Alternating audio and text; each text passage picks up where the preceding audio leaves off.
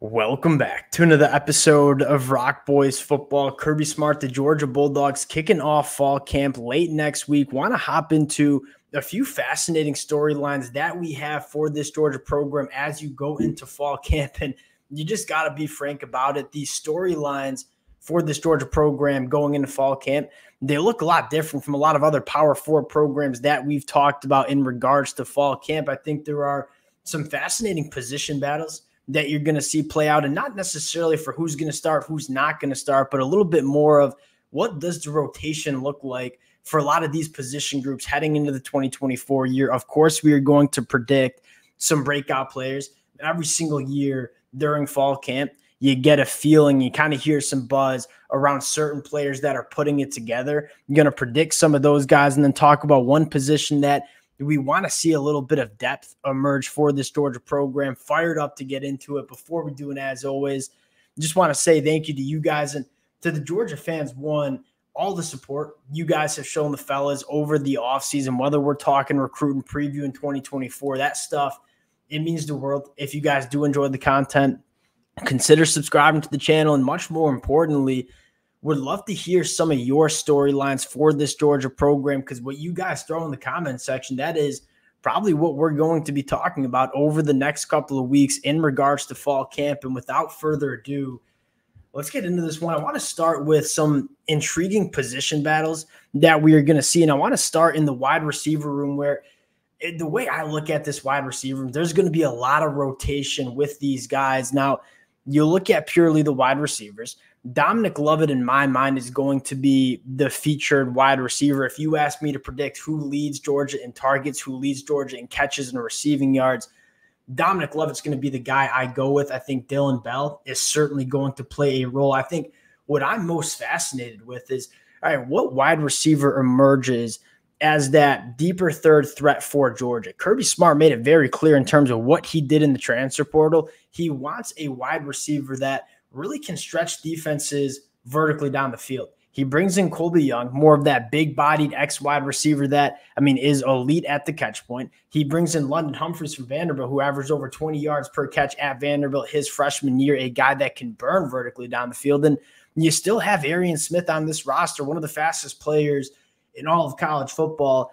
We feel pretty good about Dominic Lovett and Dillon Bell kind of being featured in those short intermediate route trees what wide receiver is going to emerge as that deeper third threat? I think you have three options in Colbie Young, Arian Smith, and London Humphreys. I would guess a bunch of them get playing time in 2024, but who's going to be the guy that Georgia relies on consistently in the 2024 season? That's probably my biggest question mark for the wide receiver room. Now, I think the second position battle you might say, and again, Georgia's been known to rotate guys in the front seven. I'm kind of excited to see what the front seven rotation looks like, but more importantly, how certain guys are getting used. I, I want to start with my guy, Jalen Walker, where the more and more I watch back Georgia in 2023, I look back at the numbers.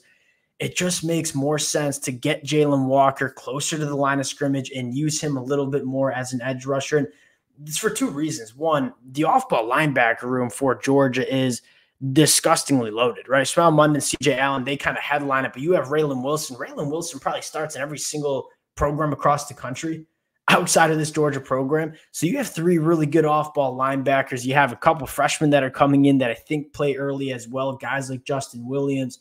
So I look at the off ball linebacker room and say, we feel dang good about the depth in that linebacker room. I look at Jalen Walker and say, yeah, he can play that off ball backer role. I, I want to see him more excuse me, rushing off the edge. You go back to the 2023 season, I think Jalen Walker was probably the best pure pass rusher that Georgia had. And so, how is Jalen Walker kind of factoring in to that front seven rotation? That is certainly what I have my eyes on. I also am looking on the inside. And you look at Jordan Hall and Christian Miller, guys that are going into year two, year three, respectively. Can they push the veterans like Nazir Stackhouse and Warren Brinson? And kind of how does that rotation look like? Because I look at the best version of this Georgia defensive line. It probably includes Jordan Hall, Christian Miller kind of breaking out and being game wreckers for this Georgia program on the inside. But I think you cut it.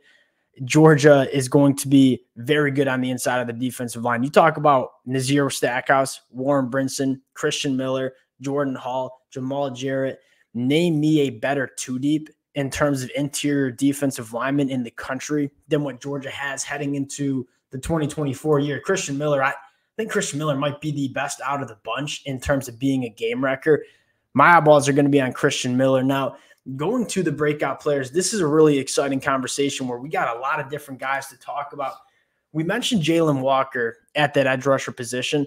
The other guy I would throw into that breakout player list is Damon Wilson. Know, we know we have a dude in Mykel Williams, a guy that I think is going to be a top 20 NFL draft pick come next April. Really good against the run. I think George is looking for that premier pass rusher. I think Jalen Walker certainly could be that guy. I've been banging the, the Georgia fans No, I've been banging the table for Jalen Walker pretty much since the start of this offseason. The more I watched Damon Wilson, I, this was a kid I loved out of high school. We kind of knew there was uh, some physicality that he had to develop before he was going to be a premier player for Georgia. Does he have that kind of physicality going into year two? Because you talk about Jalen Walker, Damon Wilson, they kind of just have a different level of juice coming off the edge as edge rushers. Now, are they going to play every single snap? Probably not, because you have a guy in Chaz Chambliss who's going to play a lot because of what he can do against the run. But on those third and long situations, are Jalen Walker and Damon Wilson kind of emerging as those elite pass rushers that you can ask to pin their ears back and they can go impact pockets and impact quarterbacks consistently on those third and long situations. I think another guy that I'm certainly keeping my eye on is true freshman Ellis Robinson. Now, excuse me, it's not going to be easy to crack the starting rotation at the cornerback spot with Julian Humphrey and Daylen Everett coming back. Ellis Robinson might have been one of the most impressive cornerbacks that we've seen come out of high school in a very long time. It sounds like he is starting to look the part within that Georgia program. If there's a true freshman that I think could potentially get on the field, it would probably be in the secondary, starting with Ellis Robinson. But I would also throw in KJ Bolden, where you look at KJ Bolden and say, Georgia's the only position on the football field that I think Georgia might be relatively thin at is safety. And I know it sounds crazy because we're talking about the best safety in the country Malaki Starks headlining that group. But outside of that, I mean, Dan Jackson has played a solid amount of football. Is KJ Bolden the guy that Georgia can trust to put out there as a true freshman. Because again, the safety position, that's one of the only positions that I think they're thin at. And if you have KJ Bolden emerge as a guy that Georgia can trust, I think that's a massive storyline for this Georgia program. So Ellis Robinson, KJ Bolden, two of those, you know, breakout players that I'm keeping an eye on. Now you go to the depth question marks. Uh, we talked about the safety spot. That's really on defense in the secondary, that's the only position that we might have some question marks about the depth. You lose guys like Tykee Smith, Javon Bullard. Oh, we're to back up. There's another guy I have in my notes that we didn't talk about. Joenel Aguero at the star position. I've been very vocal. I think Joenel Aguero is built to play star for this Georgia defense. And you look at how important Tykee Smith was for that Georgia defense last year. I think Joenel Aguero can come in – going into year two and kind of be that guy. He's a guy that elite in man coverage against some of those bigger jumbo slot wide receivers. He's a guy that can give you run support. Very, very good in terms of the quick twitch department. This kid was born to play star. When he committed to Georgia back out of high school, that's kind of where we pegged him. Can he come in as a true sophomore and kind of take over for Tykee Smith?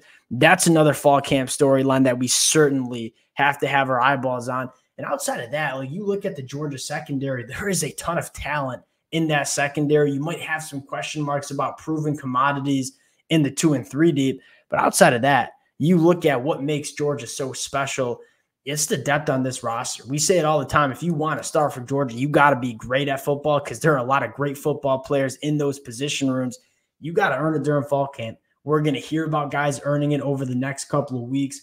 A lot of fun storylines for the boys to navigate.